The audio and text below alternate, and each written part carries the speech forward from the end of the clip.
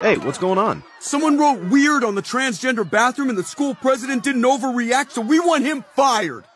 Seems reasonable. Exactly! Oh, I see news cameras. I'm gonna yell, Viva la stool, like a young white drunkard. And last week, a professor told his class to have a nice day, which is microaggression, because in our systemic rape culture, no day is a nice day. So we want him fired too. Hey, if you don't want to get fired, don't become a teacher, right? totally. You should tweet that. Hashtag fire everyone. Viva la stool! Huh, I guess I could fire up my account again. All right, open app. Got a bunch of those, no biggie. Type in tweet, blast off in three, two, one, and tweeted. I am back in the game. See? Up, oh, you're gone. And the crowd is gone. And the animators are gone.